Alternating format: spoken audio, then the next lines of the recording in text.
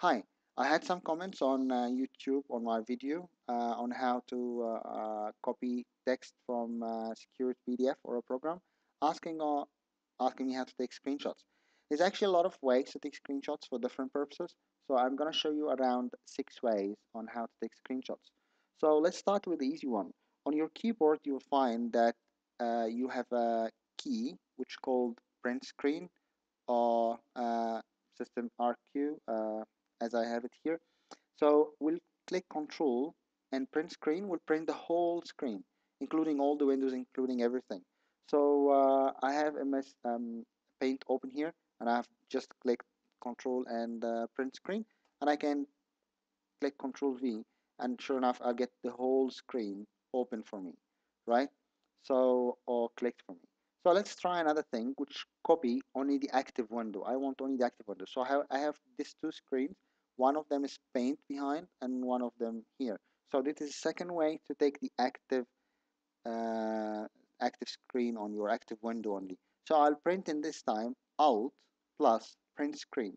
So Alt plus print screen will result that this is the active window. It will take a copy of this active window.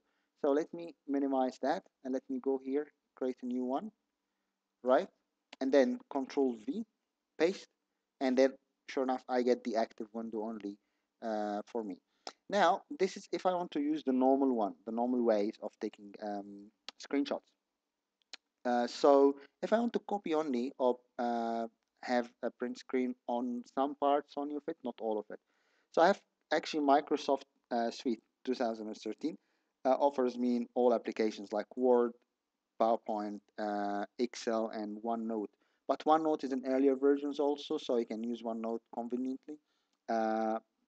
The other uh, Microsoft Office uh, like Word, Excel, and PowerPoint. I think this is the latest versions on like 2013 or maybe 2010.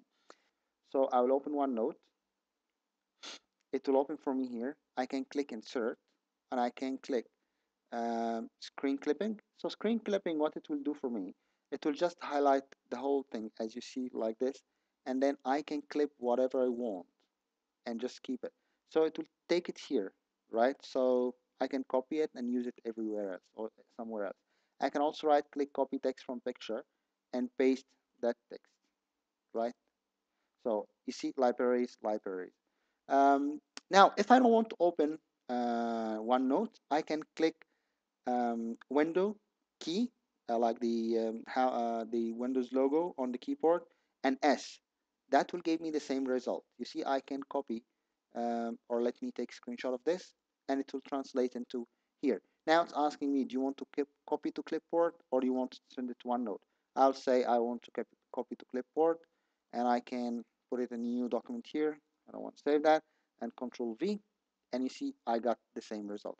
I can of course copy it to OneNote again and see here I can paste it here, right click, copy from text if I want, copy text from picture and then paste it and sure enough I get exactly the same words.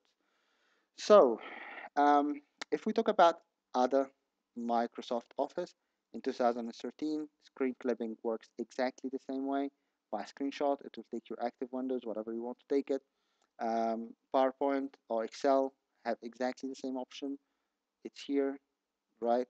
Um, PowerPoint, sure enough, you'll find it here also, the same thing. So this is all different ways to take screenshots and they offer you also screen clipping which is exactly uh, the same thing as we saw with, uh, with OneNote. So uh, hope this was useful to you. Thanks very much for watching. Um, see you next video.